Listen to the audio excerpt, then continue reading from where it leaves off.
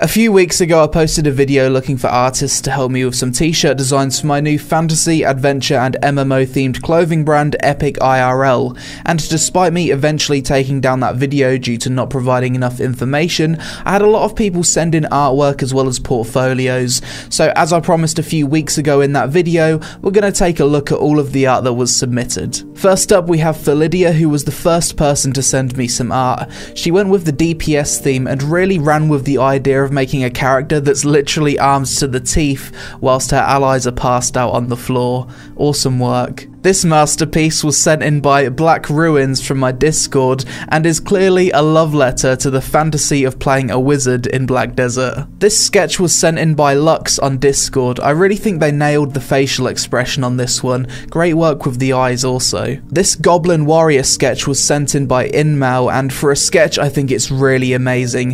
The facial expression and pose look especially good with this one. I think this piece is very close to being t-shirt worthy, however possibly probably need some background elements or typography to fill out the design a bit.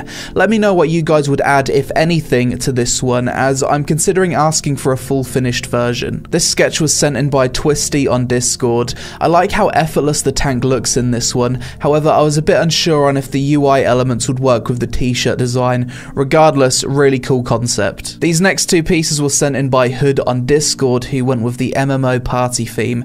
As you can see, both pieces have a very distinct style style about them and a good amount of personality and charm. The next two pieces were sent in by Zero 2. Both of these designs look really cute and have some solid line work. She also streams making art and playing games on Twitch. Links are on screen and in the description. This design by Sinnshi is probably the most wholesome piece that was sent in. They decided to go for the MMO party theme and it looks like everyone in this image is having a good time.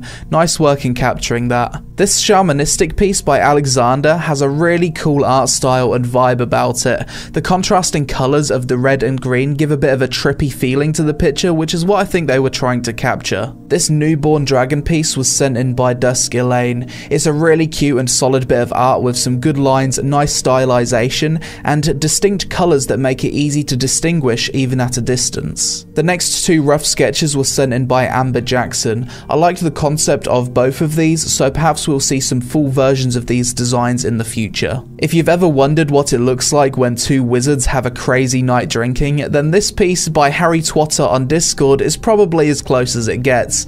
I especially like the expression on the wizard that's awake. He looks like he's had a really rough night. This piece is titled Care and Protect Tanking by Arknio Draws, and you can see why he's called it that. This picture actually reminds me of that scene at the end of 300. Really cool design concept with this one. The next four pictures were all sent in by Lockie, and I was really impressed how his creativity and line work improved over the pictures that were sent. My two favourites are the family bonding one because it reminds me a lot of Maple Story 1, and the fire elemental one which is just really creative and fun to look at. I hope you keep making art, Lockie, because I think you're on track to being a really talented artist. These next three designs were all done by Frederika, and as you can see they all became commissions. The first one is a warlock standing on the edge of a rock summoning a massive demon. She also made multiple colour variants for it for white, red, blue and grey.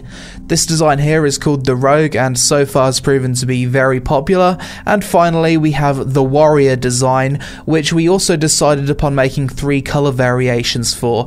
Honestly, I can't really decide which version I like the most, so I decided decided to take the blue and red versions and put them both on a mug with the brand logo in the middle. I was really happy with the designs from Frederika and hopefully she can make some designs for more class archetypes in the future. This piece by Max Thompson is an absolute masterpiece. I wanted to work with Max after he sent me his portfolio and I saw this incredible illustration he was commissioned to do by Disney. I wanted something like that which captures the feeling of playing an MMO for the first time and seeing a massive world of adventure and mystery open up in front of you. There's so much detail and work that went into this piece, I decided to make it available as an all over print which suits this design perfectly. This design by Resx is titled Virtual Worlds. Initially I wanted Resx to take the route of an Eastern MMO vibe, but then they started experimenting with silhouettes, and I really liked the direction the art was going in, so in the end we went for three adventurers about to take on a dragon. I really love the colours used in this design and the overall art style. This shirt looks amazing with a number of different colour combinations, and I'm really happy with how it turned out. This design is called Dragon Slayer and was made by TUA, who is a very talented artist that my friend Cryy introduced me to. What I love about this design is the use of negative space, the clean line work, and overall flow. It's also probably the most metal looking design we currently have up. Godforth is the artist behind four of the designs currently up on Epic IRL. Initially, he sent me the design Never Enough DPS, and I liked his art style so much that I commissioned him for a further three Be the Tank, Protect, and Emergency Healing. Godforth is a great artist to work with because he provides me with the Photoshop files that allows me to make multiple colour variations for some of the designs. We'll definitely work with him again in the future. Gomez Brown is also an artist responsible for four designs on the store. He initially made the I Like to Party shirt, then shortly after hit me with some extremely clean and original sketch designs for tank, healer, and DPS shirts. Due to the quality of his work, it was a no brainer to commission him for the full versions. Buracoma Art is the one responsible for this glorious mage workout themed tee titled Mages Can Lift Too.